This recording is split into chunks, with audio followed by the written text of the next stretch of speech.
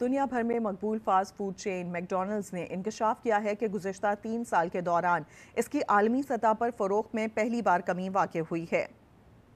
Reuters के मुताबिक McDonald's ने दुनिया भर में अपनी फ़रोख्त में कमी का ऐलान किया, जो कि तेरह सहमाहियों में पहली बार हुआ है, जिसकी वजह से महँगाई बताई जा रही है। बढ़ती महँगाई ने कम आमदनी वाले अफराद को वैल्यू डील के जानब रागब और ज़्यादा कीमत वाले खानों बाशुमाल बाशमूल बिग मैक्स की खरीदारी से दूर कर दिया है। इससे पहले ऐसी गिरावट 2020 में सामने आई थी, जब आलमी वबा कोरोना और दुनिया भर में लॉकडाउन की वजह से मैकडोनल्ड की फरोख पर भी असर पड़ा था।